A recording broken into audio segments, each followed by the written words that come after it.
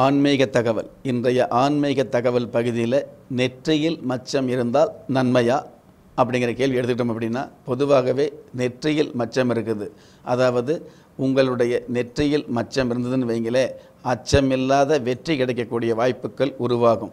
ஆனால் நெற்றியில் மச்சம் இருந்தால் மட்டுமே அந்த மாதிரியான வாய்ப்புகள் உருவாகுது அப்படிங்கிறத விட ஆண்களுக்கு வலதுபுறம் நெற்றியில் அதாவது ஆண்களுக்கு வலது பக்க நெற்றியில் மச்சம் இருந்துன்னு வைங்களே வாழ்க்கையில் எடுத்த காரியம் எதுவாக இருந்தாலும் வளமும் ஜெயமும் நலமும் கிடைக்கக்கூடிய பாக்கியத்தை உணர முடியும்.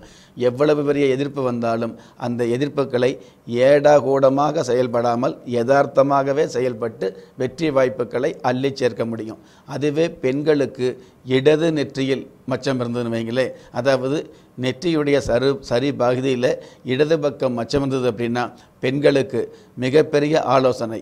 உங்களுடைய வாழ்க்கையில் அடுத்து வரக்கூடிய அல்லது ஆறு மாதம் கழித்து வரக்கூடிய ஒரு சில நன்மை தீமைகளை முன்னமே உணர்ந்து முன்னெச்சரிக்கையாக நடவடிக்கை எடுக்கக்கூடிய முன்னெச்சரிக்கையோடு செயல்படக்கூடிய பாக்கியங்கள் உருவாகும். எல்லாவற்றுக்கும் மேலாக இடது பக்கம் பெண்களுக்கு அதாவது பெண்களுடைய நெற்றியில் இடது பக்கம் மச்சம் இருந்ததுன்னு வைங்களே ஆண்களுடைய கௌரவம் அதிகரிக்கும் அதிர்ஷ்ட வாய்ப்புகள் பெருகும். குறிப்பாக எந்த கோயிலுக்கு சென்று பிரார்த்தனை வச்சுக்கிட்டாலும் அந்த பிரார்த்தனைகள் மூலமாக பண வரவு வருது பிரச்சனைகள் தீருது அப்படிங்கிறத விட பிரபல்யம் அதிகரிக்குது.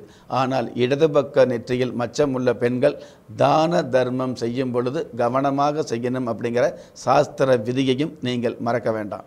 நெஞ்சுக்கிணைய நேயர்களே பெத்தவங்களுடைய ஆலோசனையை கேட்குற குழந்தைங்க தான் மற்றவங்களால் மதிக்கப்படுகிறாங்க அப்படிங்கிற விஷயத்தை இன்றைய நேரத்தில் பதிவு செய்து ஒரு மனிதனை யார் கைவிட்டாலும் ஆன்மீகம் கைவிடாது என்ற அற்புதமான தத்துவத்தையும் பதிவு செய்து மீண்டும் நாளைய தினப்பலன் நிகழ்ச்சியில் சந்திக்கும் வரை நன்றியுடனும் வாழ்த்துக்களுடனும் உலக மக்களுக்கான பிரார்த்தனையுடனும் உங்கள் ராஜயோகம் டாக்டர் கே. ராம்.